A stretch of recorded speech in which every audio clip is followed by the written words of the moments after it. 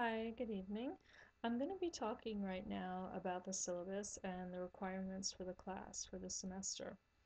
Um, I just want to give you an overview of what we're going to be doing in the semester, and every week we're going to go over detailed um, what's due that week, what projects we have, what readings we have.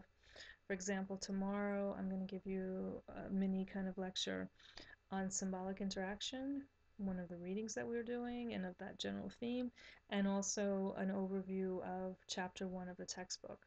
But tonight, let's just talk about what's required in the class because I could see from meeting some students, and I tried to be very comprehensive with the syllabus, but I think at the same time, maybe it's a little bit overwhelming and it might be easier to just speak about it. So generally, um, the requirements of the class are going to be are set forth by week. So you see every week what we're going to be doing and what's due. And um, this week, for example, we have to work on the Who Am I project. That's one of the individual projects. And that's when we have to talk about some characteristics that define us as a person.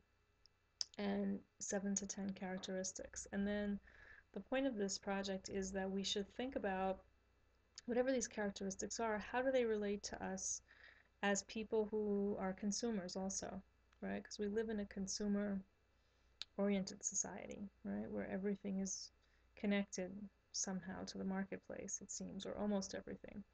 So let's say that we say that we are an athletic person.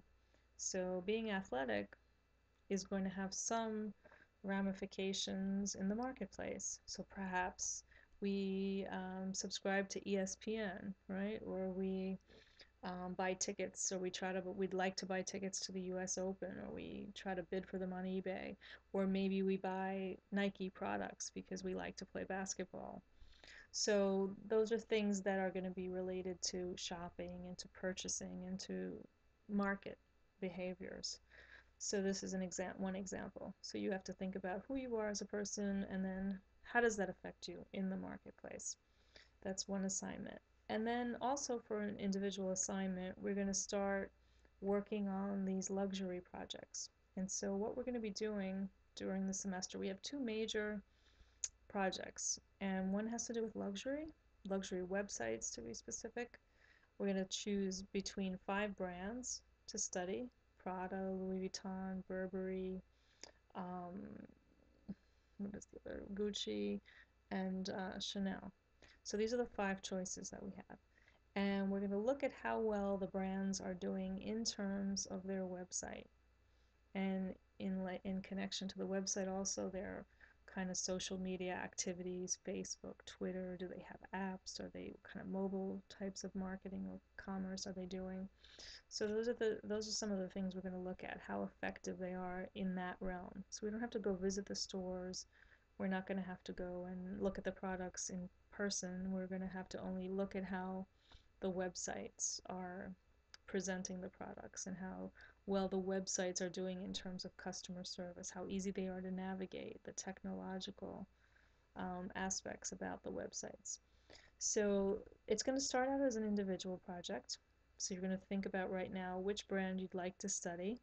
And then I'm going to have you put into groups based on the brand. So some people who are studying Prada put like four or five people together, um, for instance. And then in that group, in that Prada group that you'll be in, I'm going to create um, groups on Blackboard, so you're going to be able to have discussion board to communicate personally with each other in that way.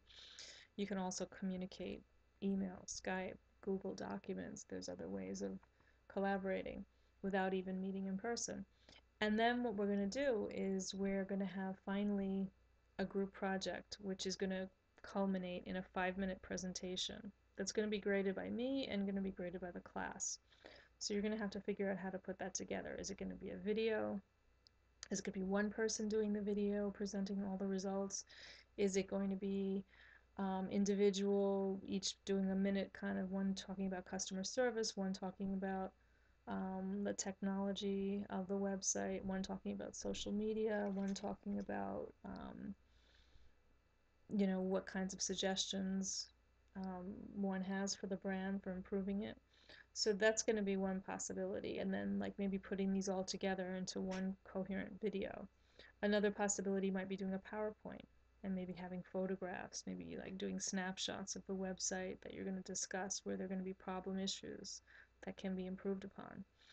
So that is the luxury project. And again, on the syllabus, there are more details about how that has to be carried out, how many points for each different assignment. The next major project is going to be a Brooklyn-based business, choosing a business and analyzing the business, uh, particularly in terms of marketing. Um, you're gonna you're gonna decide on the focus. Is it going to be more based on maybe customer service? Is it going to be more based on maybe how the business can improve its appearance and its kind of um, you know how inviting it is to people? For example, um, there are some businesses that we can see in Brooklyn, right? That near Brooklyn College that are not really very, you know, the, the display windows haven't been changed in 10 years. Like there are a couple of, um, you know, these like kind of 99 cent stores where they've got old stuff in the windows, old t- telephones, and things that they're not even any longer selling. Um, laundry detergent boxes that are, you know, the colors have been faded out. Okay, so that's a problem of aesthetics and presentation and display. So maybe that might become a focus that the business is really not appealing. It's not, you know, not a place that people feel interested in entering or that doesn't give an experience that's very enjoyable to the consumer. And maybe you might want to focus on how the business can what the business can do to be to be more inviting. Um, or maybe you may want to have one person in the group focus on that, another person focusing on customer service. So that's going to be another project. And you're going to also do a video or a PowerPoint type of presentation that's going to be viewable by everyone in class and graded by everyone in class. So we'll talk more in detail about those projects as we get closer to the time. But basically, um, we have quizzes every week. This week we don't have a quiz, but next week we start with the quizzes. The quizzes are going to be 10 questions each worth five points. Each quiz is worth a total of five points, that is. They're going to be put up on Monday. They're going to be available from Monday to Friday and, until midnight. And you're going to have, once you start the quiz, you have half an hour to complete it. So if you have any problem, if you run into any difficulty where you get logged off or something happens because you can't really go on and off. Once you start, you've got the 30 minutes. But if something happens, contact me let me know about it and we can work it out. So you have a whole week where all those things can happen. But don't say at the end of the semester, oh, I missed quiz one or I had something happened in quiz two, some technical problem. Let me know right away. So we've got the quizzes, right? We have the student introduction that you should be thinking about doing, just like I've done on, you know, putting it up on YouTube. You're going to do the same thing. And I was hoping if um, people agree that I would make all the introductions available so that, you know, we're in an online course, we're never seeing each other, meeting each other, possibly for the exception of the people that we work with in the group. But it might be nice to have all the links and to place the have a document on Blackboard where people in the class can see other people in the class, just like we would if we were in a classroom introducing ourselves. So we'll see about that, how that works. But let's let's work on getting those introductions in by February 10th. If you need more time for the introductions, a couple of more days, it's fine. But let's get the Who Am I project in. Um, start working on the video introduction, decide about your luxury project, which brand you want to study, um, do the readings for symbolic interaction for chapter one.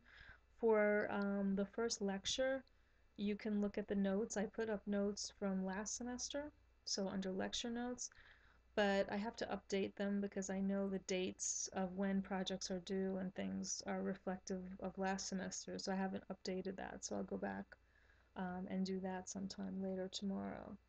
And then for next week, we're going to be starting with the quiz for chapter one, and we're all, we're also going to be handing in all those assignments that we have.